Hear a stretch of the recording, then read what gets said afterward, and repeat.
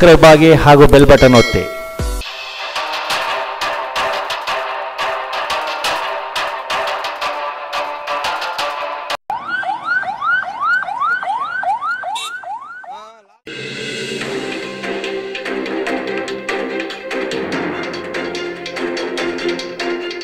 ಸ್ನೇಹಿತರೆ, ವೈನ್ ಸ್ಟೋರ್ಗಳ ಸ್ಟಾಕ್ಗಳ ಪರಿಶೀಲನೆಗಿಳಿದ ಅಬಕಾರಿ ಅಧಿಕಾರಿಗಳು ವೈನ್ ಸ್ಟೋರ್ ಮಾಲೀಕರಲ್ಲಿ ಪ್ರಾರಂಭವಾಯಿತು ನಡುಕ.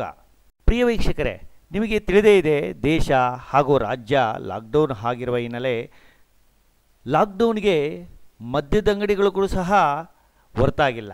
ಆದರೆ ಲಾಕ್ಡೌನ್ ಸಂದರ್ಭವನ್ನು ಬಳಸಿಕೊಂಡಿರುವ ಕದಿಮರು ರಾಜ್ಯದ ಹಲವೆಡೆಗಳ ಮೈಸೂರುಗಳಲ್ಲಿ ಮದ್ಯದ ಬಾಟಲಿಗಳನ್ನು ಕಳುವು ಮಾಡಿರುವ ಪ್ರಕರಣಗಳು ಬಯಲಿಗೆ ಬರುತ್ತಿದ್ದು ಮದ್ಯದಂಗಡಿಗಳಲ್ಲಿರುವ ಬಾಟಲಿಗಳನ್ನು ಅಂಗಡಿ ಮಾಲೀಕರೇ ಬ್ಲಾಕ್ನಲ್ಲಿ ಮಾರಾಟ ಮಾಡುತ್ತಿದ್ದಾರೆ ಎಂಬ ಮಾತುಗಳು ಸಾರ್ವಜನಿಕ ವಲಯದಲ್ಲಿ ಕೇಳಿ ಬರುತ್ತಿರುವುದರಿಂದ ರಾಜ್ಯ ಅಬಕಾರಿ ಕಮಿಷನರ್ ಅವರು ಎಲ್ಲ ಮದ್ಯದಂಗಡಿಗಳಲ್ಲಿರುವ ಸ್ಟಾಕ್ಗಳ ಪರಿಶೀಲನೆ ನಡೆಸಿ ವರದಿ ನೀಡುವಂತೆ ಆದೇಶ ನೀಡಿರುವ ಹಿನ್ನೆಲೆ ನಗರದ ಒಂದನೇ ಅಡ್ಡರಸ್ತೆಯಲ್ಲಿರುವ ಲಿಕ್ಕರ್ ಕಾರ್ನರ್ ಎಂಬ ವೈನ್ ಸ್ಟೋರ್ನಲ್ಲಿ ಅಬಕಾರಿ ಅಧಿಕಾರಿಗಳು ಕಡತಗಳ ಪರಿಶೀಲನೆ ನಡೆಸಿದರು. ಅಬಕಾರಿ ಅಧಿಕಾರಿಗಳು ಸ್ಟಾಕ್ಗಳ ಪರಿಶೀಲನೆ ನಡೆಸಲು ಮುಂದಾಗುತ್ತಿದ್ದಂತೆ ಕೆಜಿಎಫ್ ನಗರದಲ್ಲಿನ ಬಹುತೇಕ ಮದ್ಯದಂಗಡಿಗಳ ಮಾಲೀಕರಲ್ಲಿ ನಡುಕ ಉಂಟಾಗಿದೆ ಎಂಬ ಮಾತುಗಳು ಕೇಳಿಬರುತ್ತಿದೆ ಮದ್ಯದ ಅಂಗಡಿಗಳೆಲ್ಲನೂ ಸೀಲ್ ಮಾಡುವ ಸಂದರ್ಭದಲ್ಲಿ ಅಂಗಡಿಯಲ್ಲಿನ ಸ್ಟಾಕ್ಗಳ ಪಟ್ಟಿಯನ್ನು ತೆಗೆದುಕೊಂಡ ನಂತರ ಸೀಲ್ ಮಾಡಬೇಕು ಎಂಬ ನಿಯಮವಿದ್ದರೂ ಸೀಲ್ ಹಾಕುವ ಸಂದರ್ಭದಲ್ಲಿ ಸರ್ಕಾರದ ಆದೇಶವನ್ನು ಪಾಲಿಸದೆ ಕೇವಲ ಅಂಗಡಿಗಳಿಗೆ ಸೀಲ್ ಮಾಡಲಾಗಿದೆ.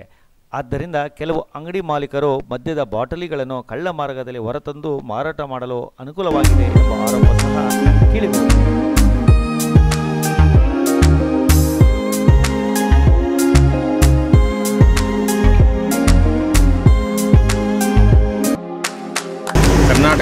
ವೇದಿಕೆಯ ಜಿಲ್ಲಾ ಪ್ರಧಾನ ಕಾರ್ಯದರ್ಶಿ ಮುನ್ರಾಜು ಅಂತ ನನ್ನ ಹೆಸರು. ಇವತ್ತು ಏನು ಇಡೀ ಭಾರತ ದೇಶ ಲಾಕ್ಡೌನ್ ಆಗಿದೆ. ಪ್ರಪಂಚ ತುಂಬ ಒಂದು ನಿರ್ದಿಷ್ಟ ವಾತಾವರಣ ಉಂಟು ಮಾಡಿಕೊಂಡಿದೆ. ಈ ಪರಿಸ್ಥಿತಿಯಲ್ಲಿ ಮದ್ಯ ಮಾರಾಟದ ಅಂಗಡಿಗಳು ಮುಜು ಮುಚ್ಚಿರುತ್ತಾರೆ. ಅದೇ ಪರಿಸ್ಥಿತಿಯಲ್ಲಿ ಈಗ ಏನು ಮುಚ್ಚಿದ್ರೂ ಸಹ ಮದ್ಯ ಮಾರಾಟ ನಿಲ್ತಾ ಇಲ್ಲ. ಈ ಭಾಗದಲ್ಲಿ ಬಂಗಾರಪೇಟೆ ತಾಲೂಕು ಬೆಮ್ಮೆಲ್ ನಗರ ಈ ಭಾಗದಲ್ಲಿ ಸುಮಾರು ನೂರು ರೂಪಾಯಿ ಬಾಳುವ ಒಂದು ಮಾ ಮದ್ಯದ ಮಾರಾಟ ಸಾವಿರ ರೂಪಾಯಿವರೆಗೂ ಮಾರಾಟ ಆಗ್ತಾ ಇದೆ.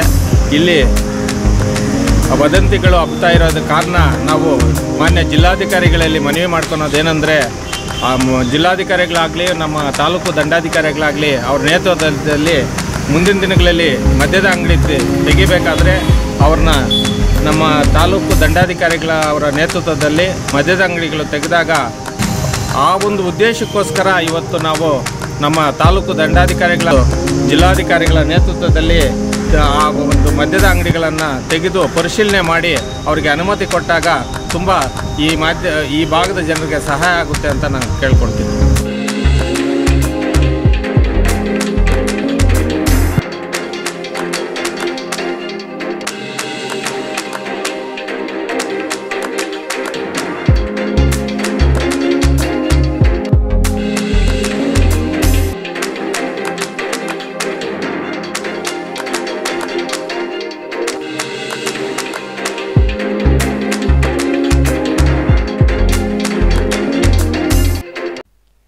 ಮಾರಿಕುಪ್ಪ ಗ್ರಾಮ ಪಂಚಾಯಿತಿ ಅಧಿಕಾರಿಗಳ ಹಾಗೂ ಜನಪ್ರತಿನಿಧಿಗಳ ನಿರ್ಲಕ್ಷ್ಯದಿಂದ ಎಂ ಕೊತ್ತೂರು ಗ್ರಾಮದಲ್ಲಿ ಹಗಲಿರಳು ಉರಿಯುತ್ತಿದೆ ಬೀದಿ ದೀಪ.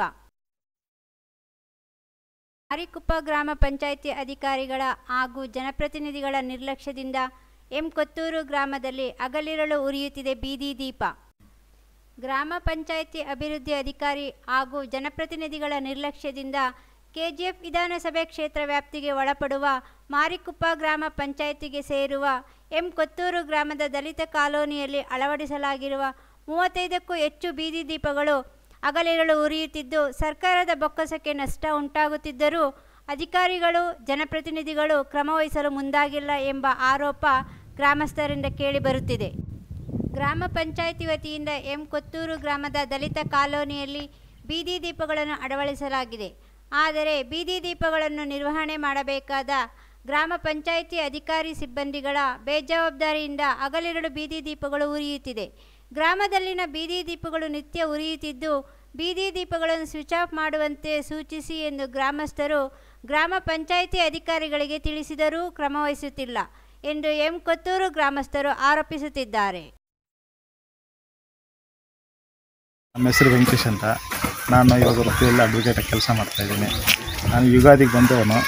ಈ ನಮ್ಮ ನಮ್ಮ ಮನೆ ಹತ್ರ ಎರಡು ದೀಪಗಳಿವೆ. ಆದ್ರೂ ಟ್ವೆಂಟಿ ಫೋರ್ ಅವರ್ಸ್ ಅವನ್ನು ದೀಪ ಬೀದಿ ದೀಪಗಳು ಯಾವಾಗಲೂ ಉರಿತಾ ಇರುತ್ತೆ.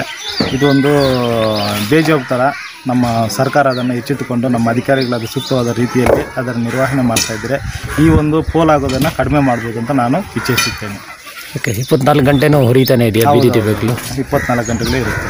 ಓಕೆ ಇದಕ್ಕೆ ಸಂಬಂಧಪಟ್ಟ ಅಧಿಕಾರಿಗಳಿಗೆ ಏನಾದರೂ ತಿಳಿಸಿದ್ದೀರಾ ಆಯಿತಾ? ಇಲ್ಲ ಇದ್ರ ಬಗ್ಗೆ ನಾನು ಮಾಹಿತಿ ಕೊಟ್ಟಿಲ್ಲ. ನಮ್ಮ ಮನೆ ಹತ್ರ ಒಂದು ಬಲ್ಪ್ ಹೋಗಿತ್ತು. ಅದನ್ನು ನಾವು ಎರಡು ಸರ್ತಿ ಹೇಗಿದೆ ಮತ್ತು ಬಂದು ಅದನ್ನು ನಿರ್ವಹಣೆ ಮಾಡಿಕೊಟ್ಟಿದ್ದಾರೆ. ಈ ಒಂದು ಎಲ್ಲ ಬಲ್ಪ್ಗಳನ್ನ ಅದನ್ನು ಬೆಳಿಗ್ಗೆ ಹಾಕೋದು ತೆಗೆಯೋದಾದ್ರು ಸ್ವಲ್ಪ ಯಾರು ಸ್ವಿಚ್ ಇಲ್ಲ ಅದಕ್ಕೆ ಯಾವುದೂ ಸ್ವಿಚ್ ಸ್ವಿಚ್ ಇಲ್ಲ ಇಲ್ಲ ಸ್ವಿಚ್ಗಳಿಲ್ಲ ಡೈರೆಕ್ಷನ್ ಮಾಡಿದ್ದಾರೆ. ಡೈರೆಕ್ಷನ್ ಮಾಡೋರೆ. ಅದನ್ನು ಸ್ವಲ್ಪ ನ- ಒಂದು ಇದು ಮೇಂಟೆನೆನ್ಸ್ ಮಾಡೋರು ಕರೆಕ್ಟಾಗಿ ಇದು ಮಾಡಿದ್ರೆ ಏನು ತೊಂದರೆ ಆಗ್ತಾ ಇಲ್ಲ. ಸುಮ್ಮನೆ ಇದೊಂದು ಕರೆಂಟ್ ಎಲ್ಲೋ ಕಡೆನೂ ಪೋಲ್ ಆಗ್ತಾ ಇದೆ. ಎಲ್ಲ ಇವಾಗ ಈ ಒಂದು ಕೊರೋನಾ ಬಂದಿರೋದು ಎಲ್ಲ ಸರ್ಕಾರ ಎಲ್ಲ ಭರಿಸ್ತಾ ಇದೆ. ಇದ್ರ ಒಂದು ನಷ್ಟ ಆಗ್ತಾ ಇದೆ. ಇದನ್ನು ತುಂಬಿಸ್ಬೇಕಂತ ಹೇಳಿದರೆ ಸರ್ಕಾರ ಒಂದು ರೀತಿಯಲ್ಲಿ ಇದು ಸ್ಪಂದಿಸಿ ಅದನ್ನು ಒಂದೇ ರೀತಿಯಲ್ಲಿ ಅದನ್ನು ಒಂದು ಕ್ರಮ ತಗೋಬೇಕು. ಕ್ರಮ ತಗೊಂಡ್ರೆ ಅನುಕೂಲ ಆಗುತ್ತಂತ ನಾವು ಒಂದು ಇಚ್ಛಿಸುತ್ತೇನೆ.